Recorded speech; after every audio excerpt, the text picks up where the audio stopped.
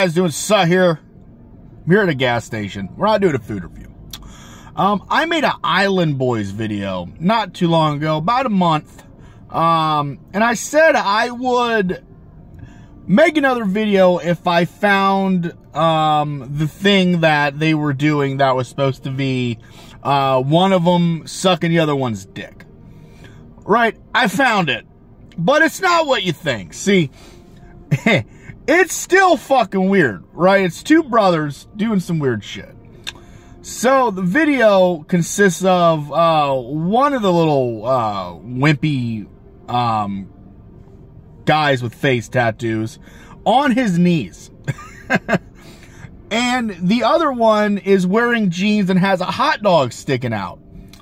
And the one on his knees proceeds to suck the hot dog from between his uh, uh, brother's uh, feminine legs. Now, I saw this and I was like, oh, fuck. Shit was rough, dude. Um, I, I, I believe that they're, they're, they're troubled men.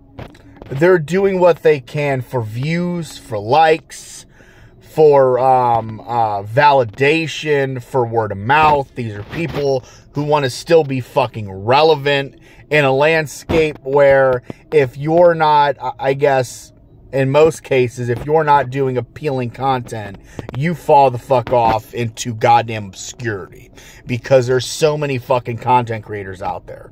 A lot of people, yeah, they might blow up for a fucking video that they do, but yeah. Um, I, I, I don't understand. I, I don't get why you would sexualize yourself with your brother as two full grown male adults. I'm not understanding why the fuck they're doing the things that they're doing. Some people think it's shock value. I, I don't know. I don't know if it's shock value or not. I have no clue. I don't know if it's shock value. I don't know if, if they were molested as children. I don't know if, if they are sexually fucking confused because I couldn't imagine a woman fucking them.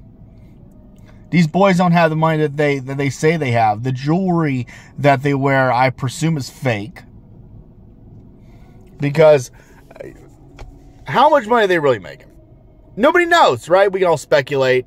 Um, I, I think it's fucking strange. I think these people should be taken off the fucking internet in body bags because these motherfuckers, their career needs to be dead.